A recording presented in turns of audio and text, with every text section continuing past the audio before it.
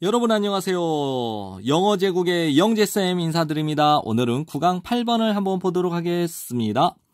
광고는 설득의 한 형태래요. 이것은 무엇을 의미하냐면요. 처음부터 이 단어 정리하셔야 돼요. 처음부터 여러분의 목표와 관심사는 자주 종종 매우 다릅니다. 그것들, 그것들은 목표와 관심사를 가리키는 겁니다. 광고업자의 목표와 관심사와 다릅니다. 다시 한번요. 이것은 다음을 의미합니다. 처음부터, 애초부터 여러분의 목표와 관심사는 자주 종종 매우 다릅니다. 광고업자들의 그것들, 즉 목표와 관심사들.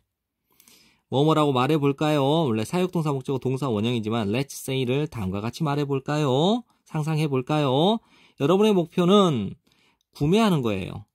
가장 좋은 식기세척기를 구매하는 건데 여러분이 구매할 여력이 되는 가장 좋은 식기세척기를 구매하는 거예요. 여러분의 예산 범위 안에서 가장 좋은 식기세척기를 사는 것이 여러분의 목표란 말이에요. 나는 될 필요가 없다. 최초의 사람이 될 필요가 없다. 그 다음에 이제 break it to를요, 통으로 외우세요. 뭐, 어, 누구누구에게 나쁜 소식을 알리다라는 뜻이에요.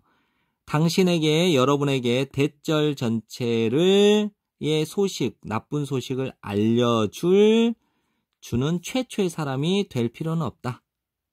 됐죠? 내가 아니더라도 여러 사람들이에게서 여러분이 이 얘기를 들었을 거라는 거예요. 이것이, 이것은 무엇이냐면 앞문장 전체입니다. 여러분의 목표가, 여기까지요. 여러분의 목표가, 어, 예산 범위 안에서 여러분이 구매할 수 있는 여력이 되는 가장 좋은 식기세척기를 구매한다라고 하는 이것이 주된 관심사는 아니래요. 어떤 가전제품 회사의 카피라이터, 광고 카피라이터의 주된 관심사는 아니겠죠.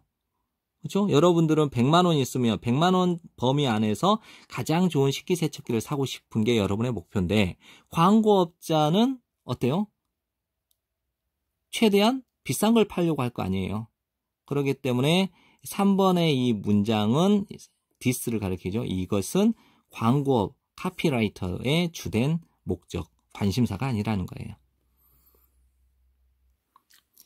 이제 희는 광고 카피라이터를 가리킵니다. 그거는 뭐뭐 할 것 같지 않죠? 고통받을 것 같지 않아요. 일말의 고통을 겪을 것 같지 않습니다. 실패의 일말의 고통을 단 한 번의 고통을 실패의 단 한 번의 고통을 겪을 것 같지는 않습니다. 그 다음에 upon ing는 뭐뭐 하자마자 발견하자마자 대절 전체의 사실을 했죠. 그 다음에 이제 괄호에서 괄호까지를 한번 정리할게요. 구매함으로써 그 식기세척기를 그가 공들여 아주 아름답게 공들여 만든 광고의 그 식기세척기를 구매함으로써 여러분이 놓치게 되어요. 더 현명한 소비를 놓치게 된다라고 하는 이 대절 전체를 알자마자 그 카피라 광고 카피라이터는 그 실패 실패, 이 실패가 뭐냐면 여러분이 더 현명한 소비를 할 기회를 놓친 그 실패에 대하여 이 광고 카피라이터는 일말의 고통을 겪지 않는다라는 것이죠. 여기까지 정리되죠? 이 내용 정리하셔야 돼요.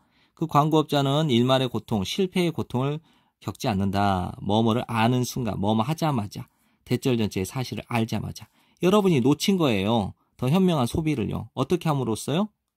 그 광고업자가 광고 카피라이터가 공들여서 만든 광고를 광고에 나오는 식기세척기를 구매함으로써 여러분의 예산 밖에 예산의 범위를 벗어나는 그 광고에 나오는 제품을 구매한 것을 실패라고 본 거죠. 근데 이 실패에 대해서 광고 카피라이터는 고통을 느끼지 않겠죠. 만일 여러분이 정말로 읽고 싶다면 무언가를요. 쓰여진 무언가, 여러분의 최고의 관심사, 마음속에 있는, 여러분의 생각 속에 있는, 염두에 두고 있는 최고의 관심사를 가지고 쓰여진 무언가를 읽고 싶으면 여러분은 뭘, 사, 뭘 집어들어야 되냐면 컨슈머 리포트, 소비자 보고서라고 하는 이 잡지를 한 부를 집어들어야 돼요. 이거는 현명한 소비를 어, 암시하는 거고요. 그다음에 여러분은 훑어보지는 않겠죠. Good Housekeeping이라는 이 여성 잡지를요. 찾기 위해서요. 지난주에 여러분이 본 그 식기세척기의 광고를 찾아보기 위해서 여성 잡지를 훑어보지는 않을 거예요. 그죠? 여성 잡지를 훑어본다라는 건 결국 뭐냐면 그 자신의 소비자의 그 목적을 그 자신의 예산 범위 안에서 최고로 좋은 식기세척기를 산, 사지 못한 것을 가리켜요. 그렇죠? 현명한 소비를 구매의 기회를 놓친 것을 의미하는 거고 컨슈머 리포트를 집어든 것은 예, 현명한 어, 구매의 기회를 나타낸 거라고 볼 수 있습니다. 여러분이 정말로 그 광고를 읽었을 때, 여러분이 정말로 그 광고를 뭐 제대로 읽었을 때, 여러분은 당연한 것으로 간주합니다. 대절 전체를. 이때 진목적, 가목적인데요. 이걸 한 큐에 당연한 것으로 간주한다. 대절 전체를 이렇게 이해하시면 돼요. 어떠한 비교든 그 광고, 요 광고죠. 그 광고가 만들어낸 비교.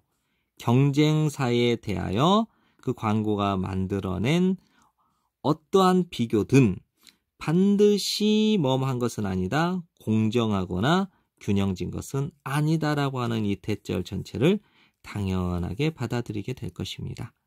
그렇죠? 그래서 광고를 정확하게만 읽으면 즉 현명한 소비를 할 수 있다라는 거예요. 그래서 광고 속에는 현명한 소비를 하지 못하도록 하는 공정하지 못하고 그다음에 균형지지 못한 내용이 들어있다는 걸 나타내는 겁니다. 자, 내용 정리 다시 한번 처음부터 해볼게요. 내용 정리 들어가겠습니다. 1번 문장을 보면 광고는 설득이에요. 2번을 보시면 여러분의 목표의 목표와 관심사는 광고자의 목표와 관심사와 다릅니다. 했죠? 여러분의 목표는 무엇이냐면요. 내가 구매할 수 있는 범위 내에서 최고의 식기세척기를 사는 게 여러분의 목표라는 거예요. 즉 합리적인 소비를 하는 것이 여러분의 목표예요.